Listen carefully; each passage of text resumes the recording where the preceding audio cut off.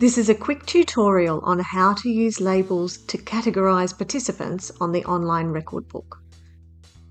Labelling for participants on the online record book can be used to tag or identify subgroups within an award centre. Once labels are created and applied to relevant participants, it can be used for participant searches and ORB list sorting. This tutorial will show you how to create, apply and view participant labels. Creating a label to categorise participants can be done through My Organisation. Select the Labels tab and then the blue New Label button. Create a name for your label, keeping it to less than 20 characters.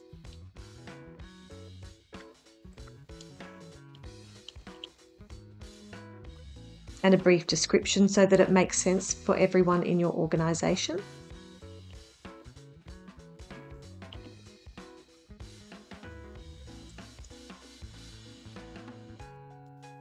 And then select Create.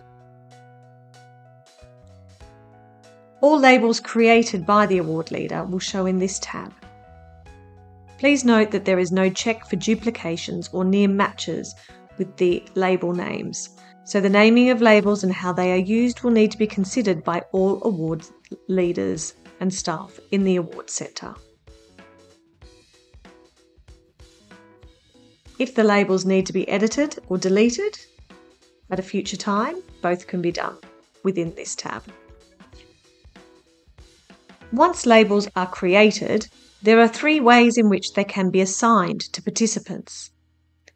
In the to-do list, in the participant list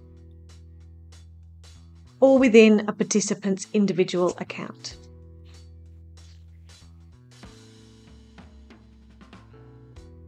Within the Registration tab, labels can be assigned as a bulk action before registrations are accepted. Once you have selected Assign Labels from the Bulk Operations drop-down, Tick the boxes of the participants you wish this to apply to.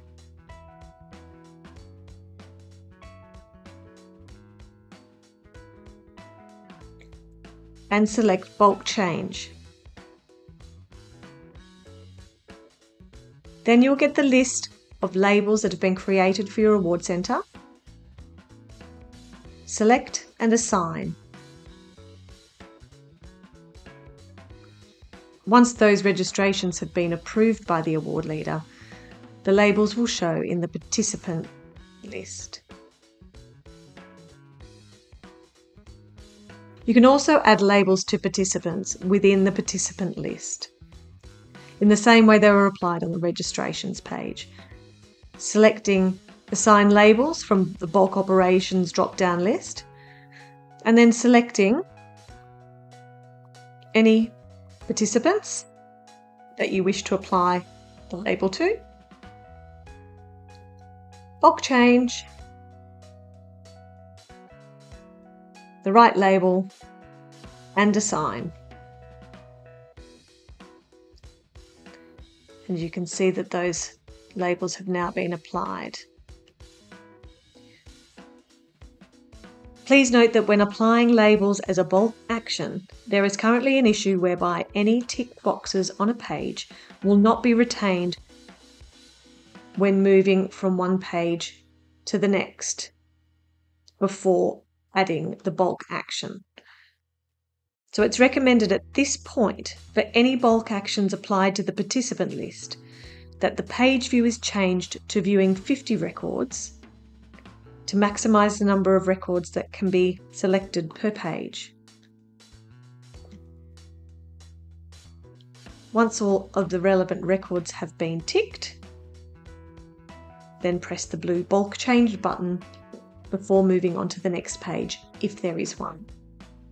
The third place that you can apply a label for a participant is within a participant's Details tab. So you need to select an individual participant. So we're in their Details tab. scroll down and select the relevant label. The wording of the label will not show anywhere on the participant's account. It will only show within the award leader's view. Removing labels. Labels can only be removed on an individual basis, not via bulk action. Within the participant detail, labels can be removed by the X symbol.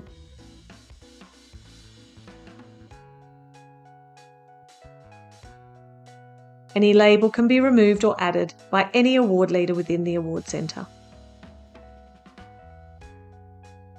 Viewing labels. Once assigned, labels can be viewed in one of three places. Within the Details tab of a participant record, which we just saw, under Participants, in My Participants or All Participants, to show only the participants with a certain label applied, there is a Labels filter at the top of the participant page. Select the label for the participants you would like to view and then the blue Filter button.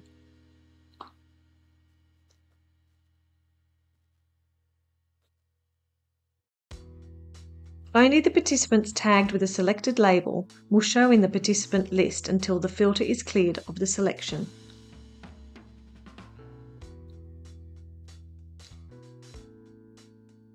The labelling information is also available in a number of reports.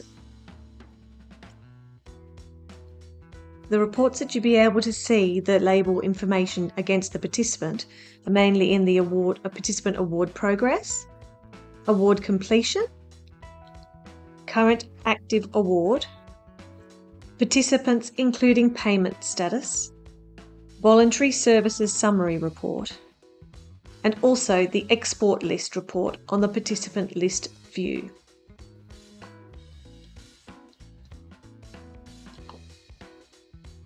Within the participant list, once you have selected your labels, there is a export table